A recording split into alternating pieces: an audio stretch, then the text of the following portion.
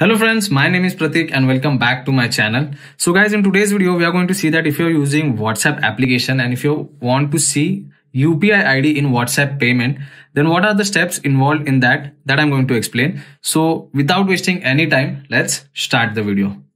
To check UPI ID in WhatsApp application, all you have to do is you have to open the application first. Once you open the application, this is the kind of interface you will be able to see on your mobile screen. So checking UPI ID in WhatsApp application is very simple. All you have to do is you have to click on three vertical dot on the right hand side top corner. After selecting that, you will get multiple option on this page, but you have to select payment option over here. Now after selecting payments option, we are on the payments page right now. So you will be able to see your name and your UPI ID at the top itself. And the other way to check the UPI ID, you have to scroll down and in bank option where you have already added your bank account, you have to select your bank account over there.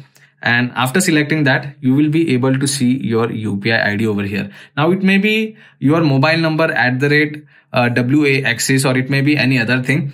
So all you, uh, if you want to share this UPI ID with your friends or family for transaction, you can just tap on your UPI ID and you will be able to select it from here and you can copy and you can share it with your friends and family for the transaction. So this was the second step. So these are the simple steps you have to follow to check your UPI ID in WhatsApp application. So that's pretty much it for today's video guys. It was a simple video. It was a short video. If you like this video, you can hit that like button. If you find this video informative, you can share it with your friends and don't forget to subscribe to my channel.